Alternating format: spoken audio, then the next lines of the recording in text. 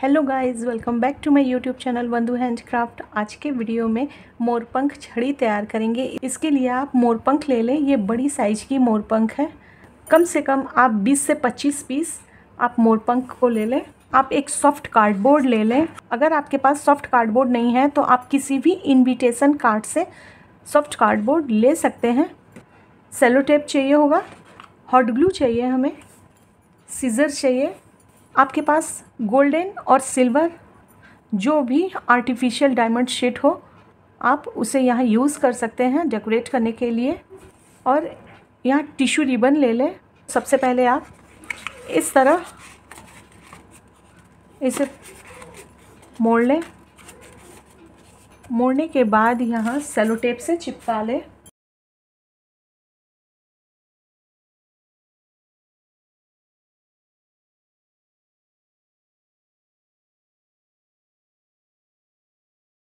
Cello tape यहाँ अच्छी तरह चिपकाने के बाद इसकी जो टोटल लंबाई है वो सेवन इंच की है और यहाँ इस तरह अब गोलाई फोर इंच की यहाँ है।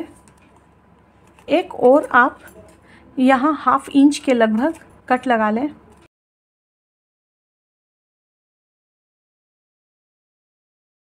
कट लगाने के बाद यहाँ इस तरह मोड़ लें।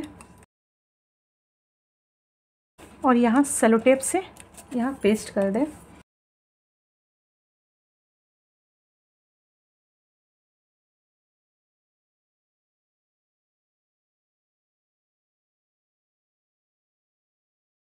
यहाँ नीचे की ओर से ये पूरी तरह कवर हो गई है। यहाँ इस तरह तैयार कर लें आप। नीचे चिपकाने के बाद अब इसकी टोटल लंबाई यहाँ सिक्स एंड हाफ़ इंच है। एक कार्डबोर्ड के पीस को आप यहाँ ले लें। इसकी लंबाई one inch point seven five inch और चौड़ाई डेढ़ इंच के करीब है। आप इस तरह के सॉफ्ट कार्डबोर्ड को यहाँ इस तरह कट करके ले लें। यहाँ इस तरह कट कर लें आप। अब यहाँ आप पिकअप फेदर को अब अरेंज करेंगे। सबसे पहले आप एक पिकॉक फेदर को यहाँ इस तरह रखें और यहाँ इस तरह आप इसे अरेंज करें।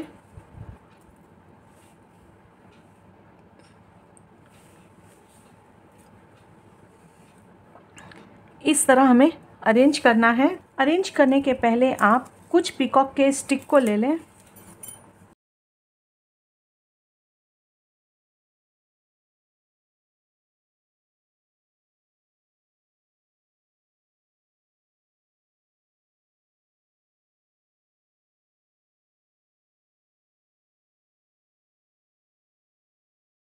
अब यहाँ सेलोटेप से इसे बराबर करते हुए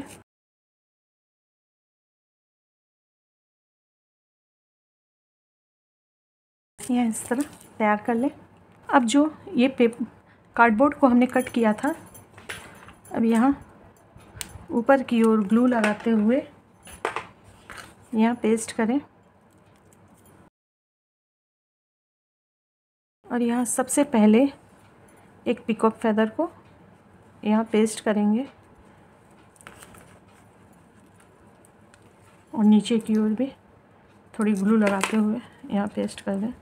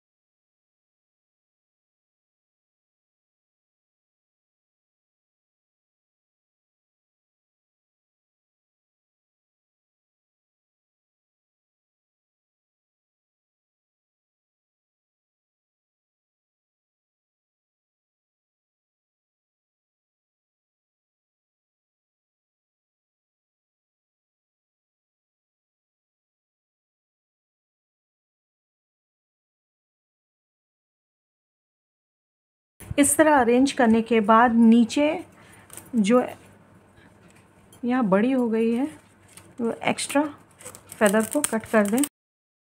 अब यहाँ इसे इसमें डाल दें।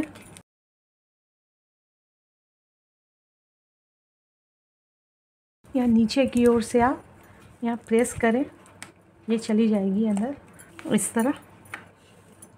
अब आपके पास अगर गोल्डन टिश्यू रिबन है, अगर आप गोल्डन टिश्यू रिबन से सजाना चाहते हैं तो गोल्डन को लगाएँ और या फिर आप सिल्वर टिश्यू रिबन से यहाँ सजाना चाहते हैं तो सिल्वर से भी सजा सकते हैं। अब यहाँ गोल्डन टिश्यू रिबन ले लें। इसकी जो चौड़ाई है, वो पॉइंट सेवन फाइव इंच है, यानी हाफ़ इंच और वन इंच के बीचों बीच जो मार्क है, ये इतनी चौड़ी गोल्डन टिश्यू रिबन को यहाँ ले लें। या हाफ़ इंच भी आपके पास हो। तो आप उसे भी यूज़ कर सकते हैं। यहाँ इस तरह इसे लगाना है तो आप यहाँ से लगाना शुरू करें। ज़्यादा खींचते हुए यहाँ ट्यूशन रिबन को ना लगाएँ। इसे हल्के हाथों से ही यहाँ मोड़ दें। अगर आपके पास कलर वाली लेस हो तो यहाँ आप कलर वाली लेस को भी लगा सकते हैं। और वीडियो पसंद आए तो प्लीज़ मेरे वीडियो को लाइक कर दें।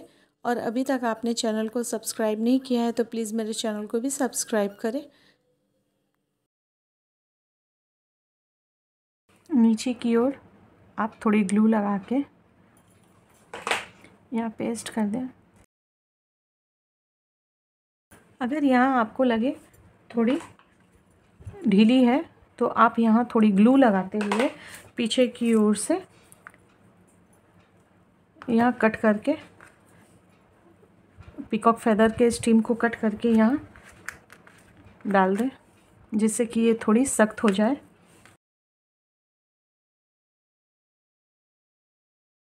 ये पेस्ट हो गई है। अब यहाँ आर्टिफिशियल डायमंड शेक ले लें, इसके डबल लाइन कट कर लें।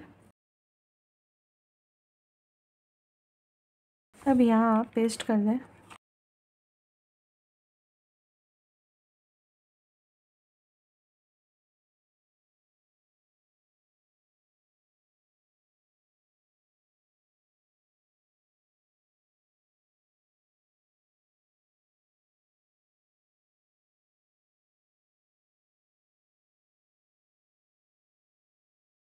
यहाँ ऊपर की ओर के लिए यहाँ इस तरह बड़े बड़े स्क्वायर पीस हमें कट करने हैं इस आर्टिफिशियल डायमंड शीट को।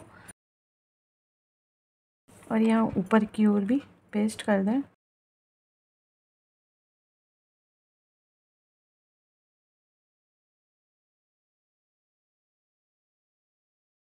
अब यहाँ आप कोई भी बूटी पेस्ट करना चाहें तो यहाँ एक बूटी को पेस्ट कर दें। आपके पास कोई भी बूटी हो, आप यहाँ इस तरह पेस्ट कर दें।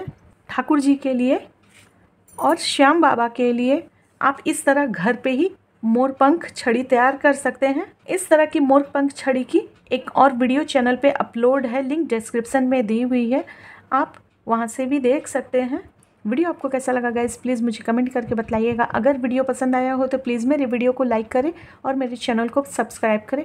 पास के बेल आइकन को प्रेस करें ऑल पे क्लिक करें, जिससे मेरे आने वाले वीडियोस का नोटिफिकेशन आप तक सबसे पहले पहुँचे और मेरे इंस्टाग्राम हैंडल और फेसबुक पेज पे भी मुझे फॉलो करें। तो चलिए, फिर मिलते हैं नेक्स्ट वीडियो में। राधे राधे